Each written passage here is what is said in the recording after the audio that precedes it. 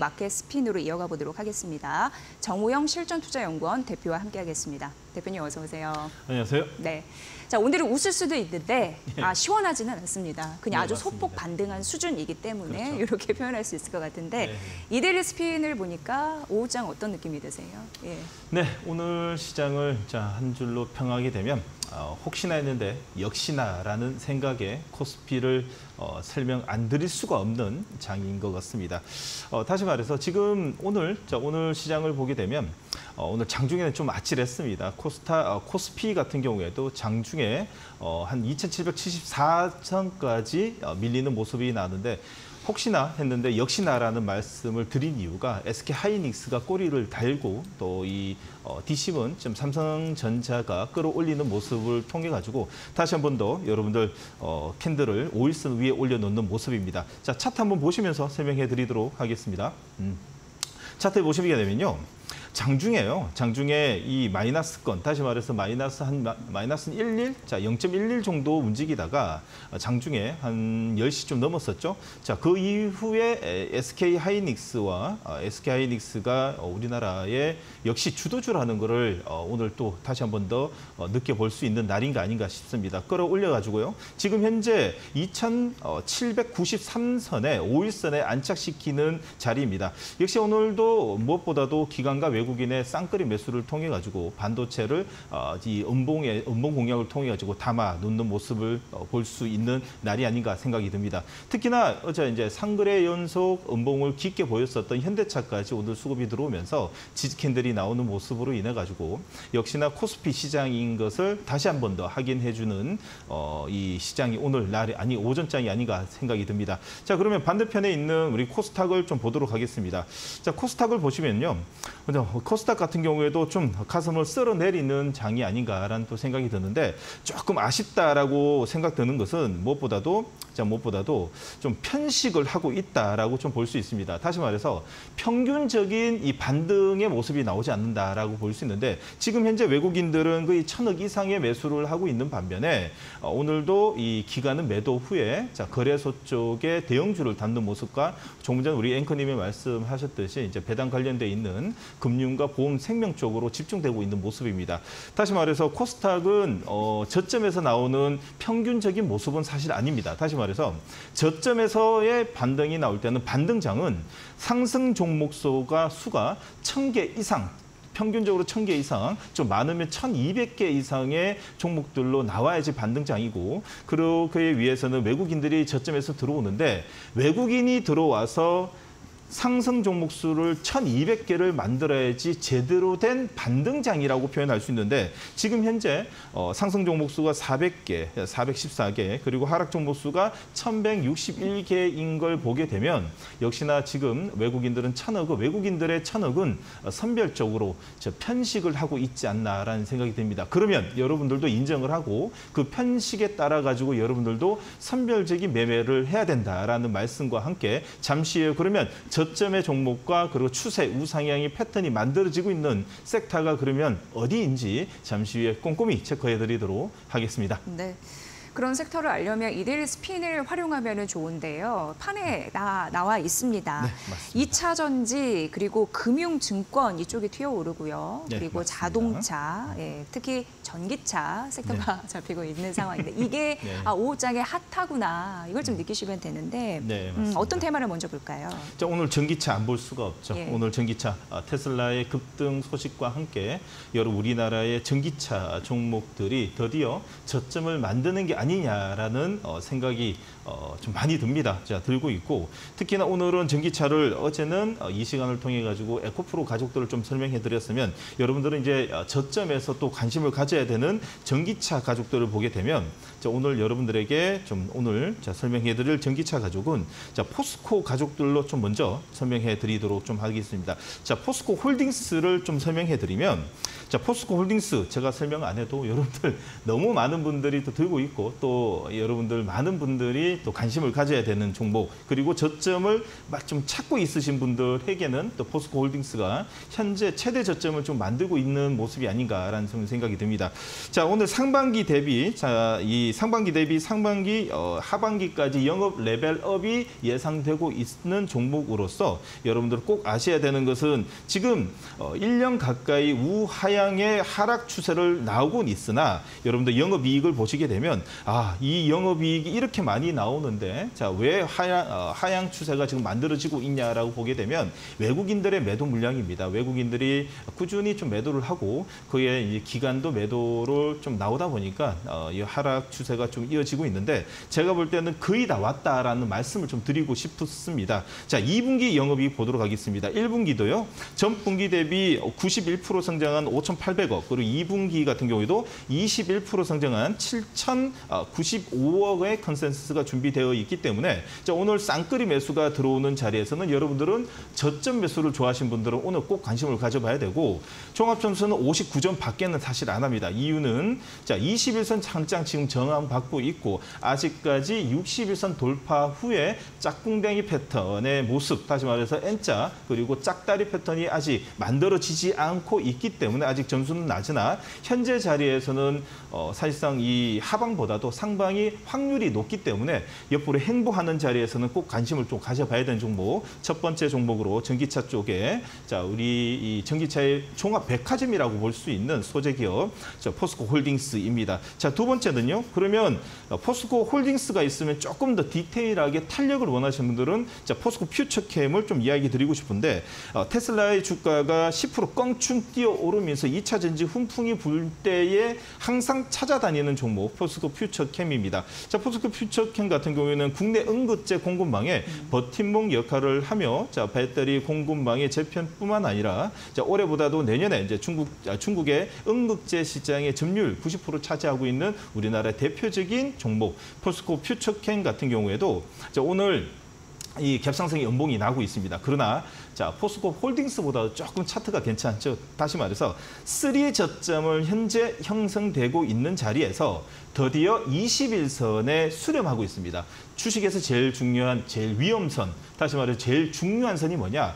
21선입니다. 21선이 주주로 오랫동안 우하향할 때 매번 이 5일선 부딪히고 부딪히죠. 다시 말해서 21선을 저항하고 아, 저항받는 자리에서 저항을 뚫어 뚫어줄 때 수렴, 수렴, 수렴을 통해 가지고 안 착시키고 다시 한번 들어갔다가 튀어오를 때 이게 짝꿍댕이뿐만 아니라 저점을 형성하는 과정이라고 볼 수 있습니다. 다시 말해서 지금 현재 21선과 61선, 20 평균 가격과 60 평균 가격을 수렴하고 있는 현재 음봉의 자리는 음봉 공략도 충분히 가능한 자리고 오늘 점수가 몇 점? 63점이면 이제는 잽을 치면서 꼭 들어가야 되는 종목 두 번째로는 포스코 퓨처캠 이야기 드리도록 하겠습니다. 네. 오늘 이제 LG 엔솔 같은 경우에 그 음. 비교적 저렴하고 안전하다고 여겨지는 LFP 배터리를 네, 맞습니다. 예, 네. 프랑스 그 르노에 그 수주했잖아요. 어, 네, 맞습니다. 굉장히 국내 기업에서는 이제 최초이고 중국 시장의 먹거리 우리가 뺏어왔다라는 예, 그렇습니다. 그런 자신만만한 이제는, 그런 음. 이슈가 있어서 또 화제가 되기도 했습니다. 예, 맞습니다. 예, 이제는 우리나라의 어, 이 LFP 배터리 같은 경우에도 이제 세계화되는 이 과정이 아닌가라는 좀 생각이 듭니다. 예. 네. 자 그리고 이제 바이오 섹터도 많이 잡히거든요. 예, 맞습니다. 장기 테마야 쪽에서도 잡히고 뭐 예. 업종 상위도 당연히 있고요. 네, 맞습니다.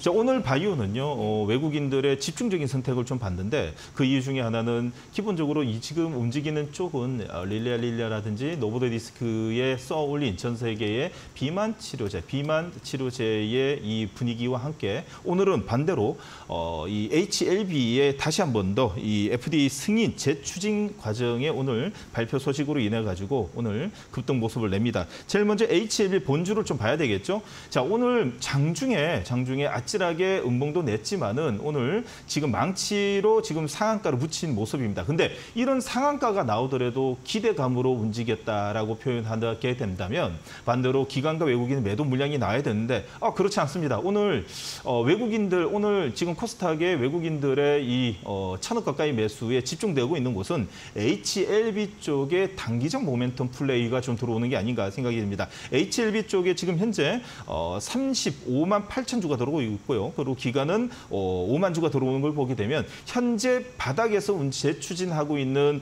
이 FDA 재추진하는 이 분위기는 외국인 기관들에게는 단기 플레이에서 인정하는 모습이 아닌가 생각이 됩니다. 첫째 날이기 때문에 충분히 여러분들이 상따뿐만 아니라 trading은 가능한 날이라고 볼 수 있습니다. 자, 두 번째는 그러면 어떤 종목을 봐야 되냐?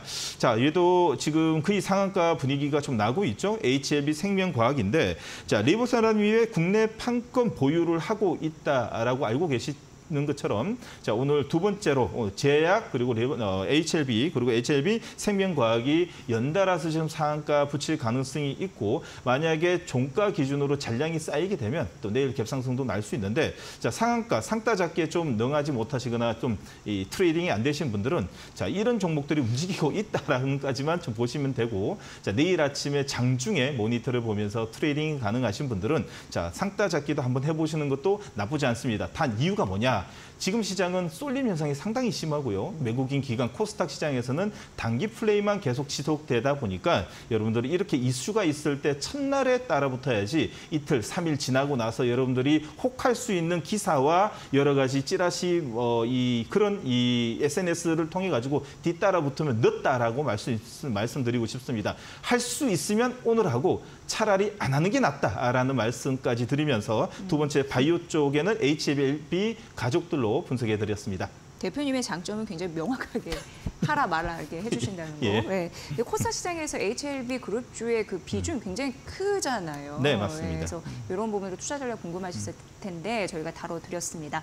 자 대표님 그리고 예, 또 봐야 할 섹터가 있다면 뭐가 있을까요? 아우 자동차입니다. 네. 역시 자동차, 네. 어, 자동차가 지금 우리나라에서는 지금 대형주 위주로 움직이고 있는데 저 대형주는 그, 이 사- SK 하이닉스와 삼성전자가 이끌고 있다면 또한 저 한쪽의 섹터죠. 자동차에는 현대차, 기아차가 있는데 제가 이 시간을 통해 가지고 올해는 어, 이 과거에 같았으면 당연히 기아를 여러분들한테 적극적으로 좀 이야기 드리고 싶은데 올해는 현대차다라는 말씀을 좀 드리고 싶습니다.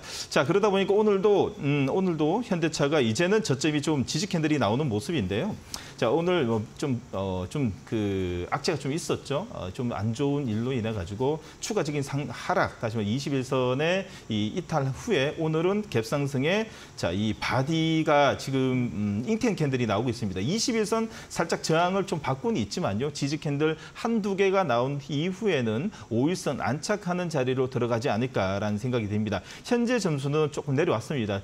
자, 이 5일선 위에 있을 때는 80점 위에 올라가고 이 20일선 샌드위치 때는 70점이 가까이 되는데 지금 현재 어, 20일선 저항받는 윗꼬리에 지금 도지가 나오고 있기 때문에 진입은 가능하나 trading 관점 또 한 번 더 밀릴 수 있으니까요. 자, 지지 candle 한두 개 나왔을 때 여러분들 꼭 여러분 담아야 되는 종목. 자, 현대차가 현재 점수 67점에 자, 도지가 나오고 있습니다. 자, 두 번째 여러분들이 꼭 관심을 가져야 되는 쪽은 현대글로비스입니다. 자, 현대글로비스 같은 경우에는 환율 효과, 자, 이 무상 증자뿐만 아니라 배당 정책 효과까지 열릴 수 있는데 연일 상승을 하고 있습니다. 자, 시장의 지금 흐름하고는 전혀 반대편 으로 움직이고 있죠. 자, 오늘 어, 지금 6.7% 울리긴 즐기면서 쌍끌이 매수가 들어오는데요. 자, 오늘 부담되시는 분들은 내일 5일선에 붙일 때 이런 꼭 관심을 보자. 그 이유는 뭐냐? 지금 현재 어, 저점에서부터 지금까지 움직일 때 5일선 매번 하루하루마다 5일선 붙이면서 올렸기 때문에 내일은 음봉이 나올 가능성이 있기 때문에 관심을 가져봐야 되는 종목 현대 글로비스이지만 오늘보다도 내일 음봉 공략이 좀더 어, 유리하지 않을까라는 생각에 자동차의 현대차 그리고 현대 글로비스까지 분석해 드렸습니다. 네. 저희가 이데일리 스핀을 통해서 예, 오후장 관심주 전략을 제시해드리고 있는데 상승률 점검 제가 잠시 해드리도록 하겠습니다. 4월 18일 관심주 YC는요 현재까지 142% 상승률을 기록하고 있고요. 5월 10일 실리콘투는 106% 그리고 4월 12일 제시한 LS 에코에너지가 현재까지 138%약 상승률을 보이고 있습니다. 4월 17일 토니모리는 126.1% 예, 상승률을 기록하고 있다는 점 말씀드리도록 하겠습니다.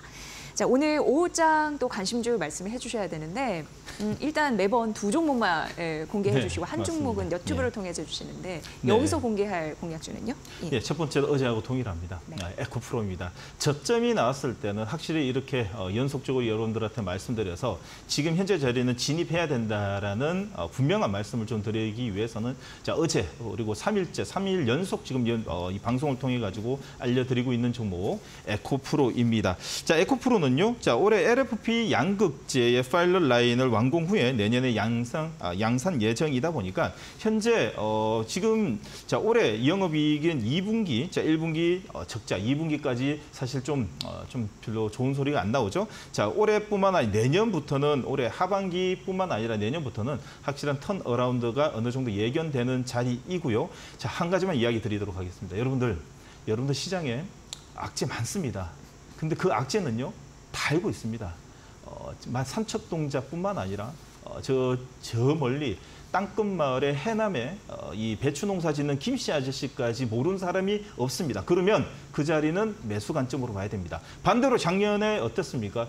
대한민국 모든 분들이 어, 이 에코프로, 에코프로 BM의 호재만 알고 있었죠. 그 자리는 오히려 더 어, 왜 매도의 관점으로 보는 어, 이좀 센스도 있지 않, 있지, 있어야 되지 않을까라는 생각이 듭니다. 쌍저점이 만들어지는 자리에서 악재뿐 밖에 없는 이 에코프로가 오히려 더 매력 포인트가 아닌가라는 생각이 듭니다. 자, 그러면 우리가 하는 관점은 뭐다? 자, 외국인 기관이 사냐 안 사냐만 보고 현재 추세를 보고 어, 들어가야 되지 않을까라는 생각이 듭니다. 오늘 기관과 외국인의 이 쌍끌이 매수는요, 저점에서는 이 가격에서는 자, 어, 우리 어, 자기들은 바깥으로는 안 좋다고 이야기하고 안 좋다고 많이 이야기합니다. 근데 정작 저들은 담고 있습니다. 우리도 따라가야 됩니다. 에코프로. 자, 오늘 에코프로 같은 경우에는요. 자, 목표가 어제가 동 일합니다. 자, 10만 5천 원에 자, 손절가 8만 8,500원입니다. 그러나 만약에 10만 5천 원이 어, 그, 그 도착하게 되면 2차 목표가, 3차 목표가 추가적으로 이야기 드리는데 지금 예상하는 2차 목표가는 12만 원, 그리고 3차 목표가는 20만 원을 제외하는 어, 드려야 되는데 그거는 차후에 좀 이야기 드리도록 하고요. 자, 두 번째 종목 바로 가도록 하겠습니다. 두 번째 종목도 어제와 동일하게 자, 에코프로 BM입니다. 자, 조금 전에 말씀드렸던 거 동일합니다. 자, 자 추가적인 이야기를 좀 더 드릴 내용은 high 니켈뿐만 아니라 어, mid 어, 니켈, LFP뿐만 아울러서 올해 다양한 포트폴리오 구축뿐만 아니라 내년에 인, 어, 리튬 인산철, FP, LFP 어, 양극재 양산 목표로 진행되고 있기 때문에 올해보다도 내년에는 이제는 완전히 이제 이 turnaround 나기 때문에 이제 이 어느 정도의 시장에서 가격 메리트가 충분한 우리의 에코프로 BM은 현재 메리트 있는 가격대 다시 말해서 10만 8,900원 자리에서는 이제 눈 감고 배팅해야 되는 자리가 아닌가라는 생각이 듭니다. 자, 우리는 이렇게 생각하는데 남들 누구다? 기관과 외국인 제일 중요한 기관과 외국인은 산다 판다 사고 있습니다. 외국계 기관 외국계 기관 오늘 쌍끌이 매수를 통해 가지고 다시 한 번 더 저점을 만들고 있습니다. 단 20에선 뚫어주면 좀 더 좋았을 건데 좀 아쉽지만은 지금 현재는 그래도 가격 메리트 있다는 말씀을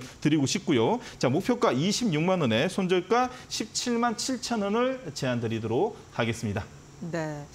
어, 어제 이어서 에코프로와 또 에코프로 비에 예, 말씀을 해주셨습니다. 오장 관심주 전략에 대한 매매 포인트, 매매가, 손절가 이렇게 말씀을 드렸으니까 잘 참고를 해보시면 될 것 같고요. 자, 세 번째 종목은 너튜브에서 말씀해 주신다고요. 네, 맞습니다. 아, 오늘 오전장 어, 너프, 너튜브 오늘 너무 재밌었습니다. 여러분들 혹시 이 어려운 장에서도 혼자 대응하기 힘드시죠?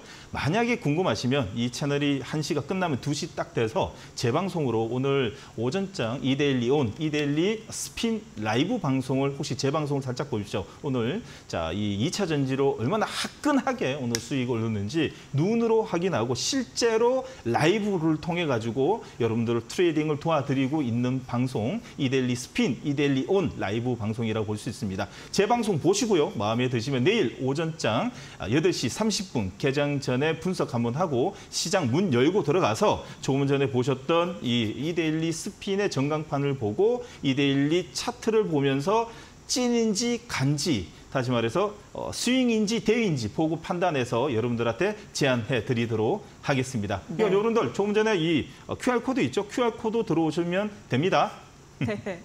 이데일리 스핀은 그 시장의 흐름을 꿰뚫면서도 종목을 발굴할 수 있는 굉장히 예, 유용한 그런 전략인데 잘 참고를 해보시면 될 것 같습니다. 네. 정우영 실전투자연구원 대표와는 내일 오후 1시에 또 뵙도록 하겠습니다. 또 좋은 전략으로 보답해 주십시오. 어, 파이팅 하도록 하겠습니다. 네, 고맙습니다. 예.